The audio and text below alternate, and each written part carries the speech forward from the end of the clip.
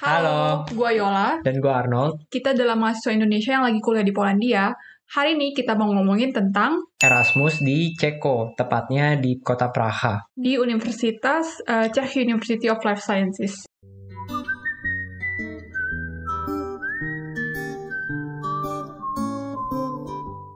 Mungkin kemarin kalian udah lihat video kita di hari pertama kita berangkat ke Ceko ini. Bagi yang belum nonton, jangan lupa ditonton dulu ya. Nah sekarang kita mau lebih serius sedikit, jadi kita mau ngomongin gimana caranya kita bisa daftar Erasmus ini. Nah, Erasmus ini apa? Erasmus adalah beasiswa pertukaran pelajar di bagian Uni Eropa, termasuk Turki juga. Dan sistemnya itu kita cari dulu beasiswanya, baru kita daftar ke universitasnya. Nah Erasmus itu ada dua jenis. Yang pertama ada Erasmus Study, dan yang kedua ada Erasmus Internship atau Traineeship. Kalau Erasmus Study adalah program yang memperbolehkan kita untuk belajar 1-2 semester ke universitas lain. Dan cara buat cek apakah universitas tersebut kerjasama sama universitas kita, kita bisa lihat di website universitas kita sendiri. Hmm, jadi ada biasanya setiap universitas tuh ada website khusus untuk Erasmusnya dan kalian bisa lihat listnya di situ. Nah yang selanjutnya itu adalah Erasmus Internship atau Traineeship. Nah Erasmus Internship ini tuh biasanya untuk summer break atau ya sekitaran bulan Juli sampai September. Cuma karena COVID ini jadinya periodenya agak berubah di- diundur gitu ya. Internship ini itu bisa dilakukan di company ataupun bisa juga dilakukan di research institution kayak misalkan kita sekarang di University of Life Science di Prague. Durasinya sendiri itu antara 60 sampai 90 hari, jadi minimal 60 hari dan maksimal 90 hari. Selain itu juga untuk internship sendiri, kalian bisa cek di company kalian. Misalkan eh, di company ya, biasanya itu akan ditawarkan gaji lagi. Tapi kalau di research institution kayak kita ini, itu nggak ditawarin. Jadi eh, cukup dari kita dapat beasiswanya itu dari Erasmus doang. Tapi ada plusnya kalau kita intern di research institute. Contohnya kalau misalnya kita mau banyak-banyakin publikasi gitu. Mm, Hal itu kan nggak mungkin terjadi kalau kita uh, kerja di food di company atau iya. ya di company lah istilahnya. Oh ya, jadi eh, research internship ini itu dibagi lagi jadi dua. Yang pertama untuk af- eh, untuk after graduate atau recent graduate dan yang kedua ini sebagai student. Nah, yang untuk yang Ceko kali ini kita apply ketika kita sebagai student. Jadi kita statusnya sekarang masih student master di eh, Pulse. Oh ya mungkin gue mau nambahin uh, tentang intake dari Erasmus sendiri. Kalau dari kampus kita sih sering banget intake-nya. Jadi kayak setiap enam bulan bakal dibuka tuh Erasmus buat study, Erasmus buat Hmm. traineeship dan sering banget. Jadi kalau teman-teman lagi pengen buat apply Erasmus, uh, pantengin aja website dari universitas kalian masing-masing. Erasmus internship ini tuh ditujukan untuk siapa? Jadi untuk macam-macam. Ada dari untuk mahasiswa S1, S2, S3 dan juga bahkan sampai dosen itu sendiri. Ada dosen kita kemarin yang internship eh, kayak ngajar di Portugal jadinya ya. Nah, dari kita sendiri, waktu itu um, kebetulan kita apply dua-duanya, jadi Erasmus Study sama Erasmus Traineeship. Tapi karena uh, banyak hal, jadinya kita memutuskan untuk ngambil yang traineeship aja.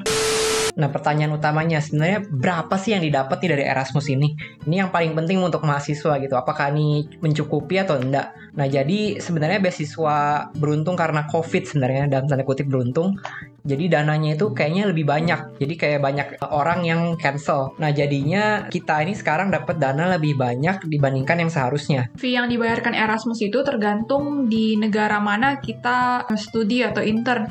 Contohnya, kalau misalnya kalian bakal intern di Eropa bagian utara atau Skandinavia kayak Norway, Finland, dan Sweden, itu kalian bakal dapat 620 euro per bulan. Ini udah setelah COVID ya. Kenapa Erasmus ngasihnya agak tinggi di Eropa bagian utara? Soalnya emang biaya hidupnya tuh mahal di Skandinavia. Ditambah lagi lagi COVID, jadi lumayan tinggi dapatnya. Yang kedua itu di Eropa bagian barat atau juga selatan gitu. Kayak misalkan Germany, terus Italia, terus Prancis dapatnya itu 600 euro per bulan. Nah, yang terakhir itu adalah negara Eropa bagian tengah ke timur lah kita bisa bilang. Kayak contohnya Ceko ini, terus Turki, terus Hungari itu dapatnya 550 euro per bulan. Tapi sayangnya kalau kalian apply buat Erasmus tuh di mungkin kalian bakal dapat lebih sedikit daripada Erasmus internship. Lebih sedikitnya itu kurang lebih sekitar 50 euro per bulannya. Nah, mungkin ini salah satu concern dari uh, mahasiswa-mahasiswa yang lagi mau daftar buat Erasmus. Kayak waktu itu kita daftar di universitas kita, nggak banyak yang sebenarnya apply buat Erasmus program ini. Karena banyak kan foreigners yang daftar. Mahasiswa lokal kayak orang Poland gitu, nggak gitu tertarik mungkin ya. Mungkin karena menurut mereka bayaran Erasmus ini uh, nggak, nggak mencukupi atau kurang gitu dari standar mereka. Tapi menurut gue dan Arnold, sebenarnya cukup sebenarnya sih. cukup, cukup.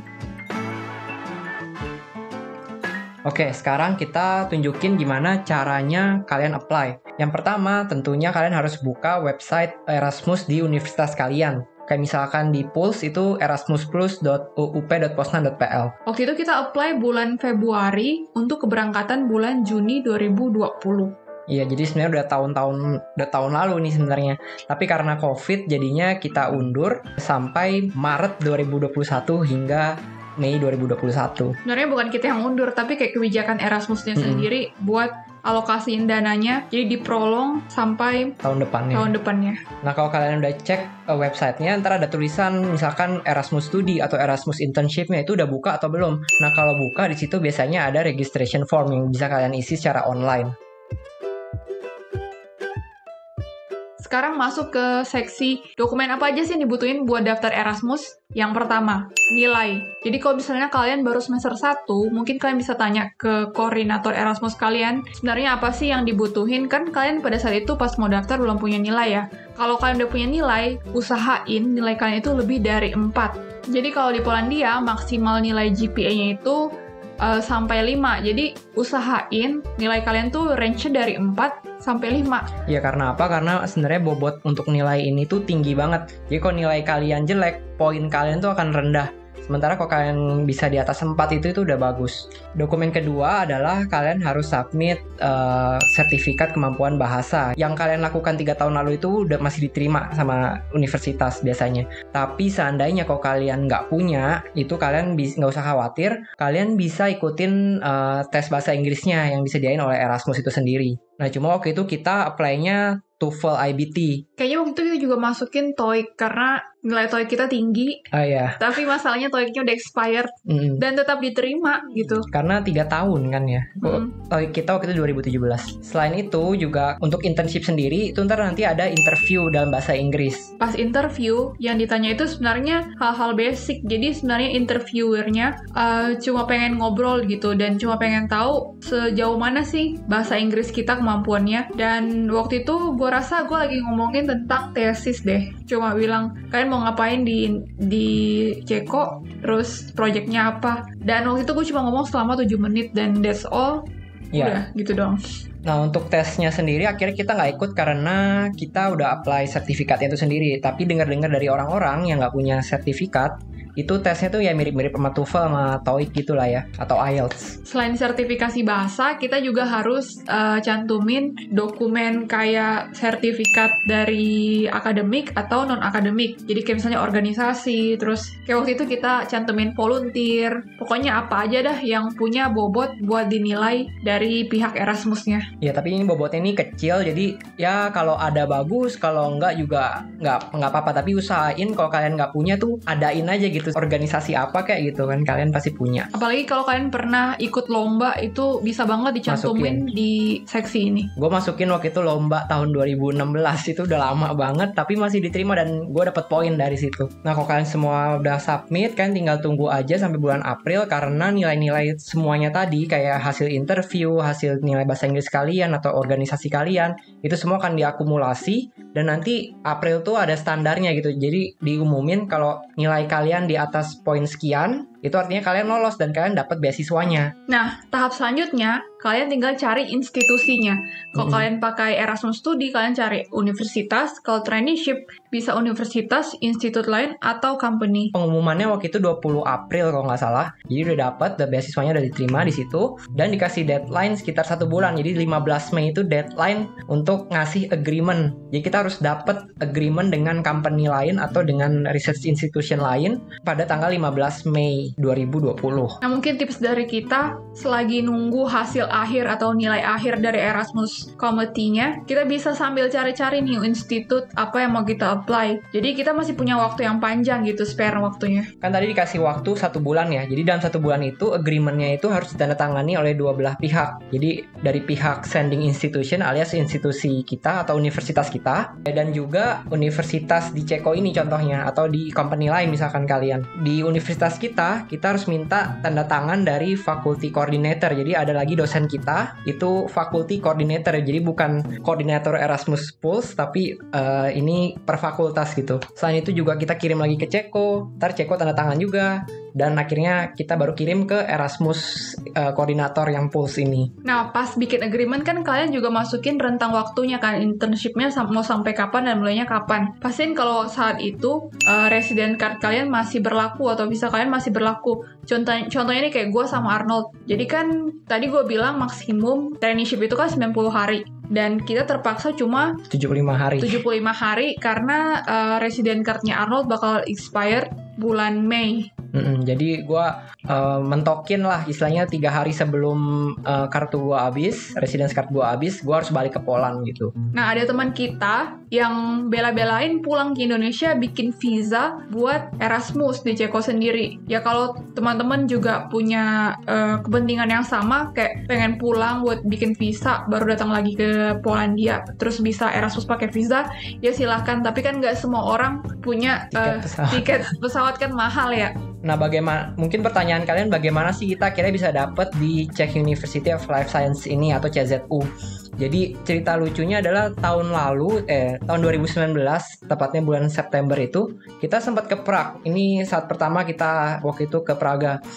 Nah di situ tujuan kita sebenarnya buat liburan dan juga mau ketemu sama teman Thailand kita waktu itu uh, dia lagi conference di Ceko di Praha. Jadi kayak dulu kan kita tahun 2017 tuh pernah uh, internship di Prince of Songkla University. Nah ini kayak mau meet up aja gitu. Eh ternyata malam itu malam pertama kita ketemu itu dia juga ketemu sama orang Ceko yang pernah internship di PSU tapi periodenya itu beda sama kita. Jadi kita nggak pernah ketemu sama orang Ceko ini. Namanya Sian. Nah di situlah malam itu kita kenalan. Dan kita makan bareng, terus keliling-keliling kota Praha bareng. dan akhirnya diajakin untuk keliling kampus CZU ini. Dan pas kita keliling kampus dan ngelihat fasilitas-fasilitasnya, kita tuh langsung kayak ah, amazed gitu loh. Keren banget nih kampus. Dan ya soalnya si Yan ini tuh dia mahasiswa S3 di ini di nah CZU iya, ini. Ya kebetulan dia masih S- S3 dan dia tuh dia bilang dia eh, bertanggung jawab untuk promosi fakultasnya.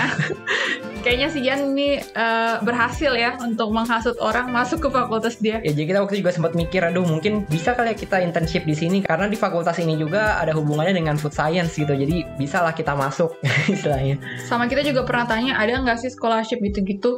Tapi si Yan bilang eh, sejauh ini dari fakultas dia scholarship kayak independen itu nggak ada. Tapi banyak banget orang yang datang ke fakultas dia buat Erasmus. Hmm, Terus kita kepikiran, hmm, Oke Erasmus. oke Erasmus. Jadi di waktu yang singkat itu yang cuma satu bulan itu, akhirnya si Yan ini ngebantuin kita untuk menghubungi profesor yang ada di situ. Jadi kayak prosesnya semua lebih cepat. Jadi thank you banget buat Yan yang sudah bantu kita.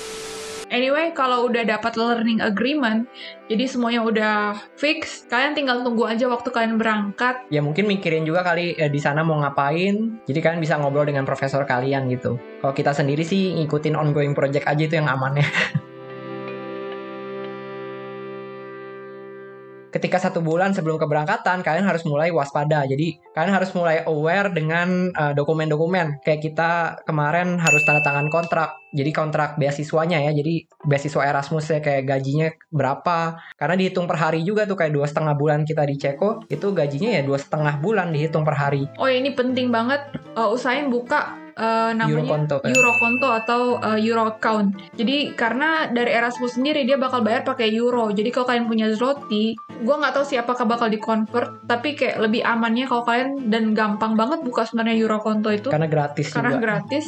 Jadi Jangan lupa buka. jangan lupa buka Eurokonto. Nah selain itu juga uh, kita harus siapin namanya asuransi. Banyak pilihan asuransi, cuma kita sendiri waktu itu nanya dari NFZ ternyata ada yang namanya ECUS atau bahasa Inggrisnya mungkin uh, European Health Insurance Card. Dia mencakup health uh, insurance di Uni Eropa lainnya. Nah, uh, insurance ini sebenarnya kayak bagian dari NFZ sendiri. Kalau kalian pakai PZU, kita nggak tahu apa kalian yeah. bisa iya. apply atau enggak. Tapi kalau kalian pakai NFZ, itu bisa apply. Ya ini bukan promosi tapi sebagai salah satu contoh aja gitu. Mungkin juga kalian bisa mulai nyiapin cash kali ya. Jadi kayak misalkan kita di sini kita siapin cek corona. Jadi nggak mungkin mungkin nggak banyak, kayak cuma 100 zloty aja. Tapi in case misalkan kayak nyampe sini dan kalian harus naik taksi, itu kalian bisa pakai cash ini. Dan di sini kebanyakan kita pakai kartu kalau mau bayar-bayar apa-apa. Kayak kemarin ke supermarket, terus kemarin beli tiket transport, semuanya pakai kartu. Jadi sebenarnya cash itu cuma buat emergency measures aja. Ya kita juga udah cek, nyata kursnya itu sebenarnya lebih untung kalau kita pakai kartu aja gitu. Selain itu juga juga kalian bisa kontak akomodasi yang ada di Ceko ini atau di tu negara tujuan kalian gitu.